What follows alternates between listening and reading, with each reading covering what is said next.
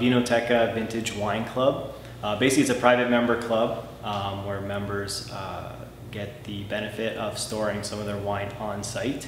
We've got our own temperature and humidity controlled cellar, and then inside of that cellar, each member gets their own uh, wine locker to go ahead and store their uh, store their wines.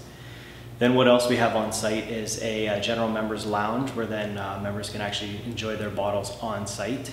And so uh, the lounge has varying seating areas between different like couches and then different tables. We've got a few wine barrels from some of the local wineries um, with higher bar stools, so those are kind of very cool seating areas. Well, we, we like to consider the place, um, that, that could be a benefit to, to both some of the more serious like wine drinkers, but also those that are casual like as well, because I mean, everybody's got everybody starts in wine somewhere, so you don't necessarily have to be at the very like high end kind of uh, end of wine to actually enjoy like a membership here. What you can kind of do is use it as a base for learning, um, and it's not only just about like wine as well. Um, we we like to think of the space as just a general networking space.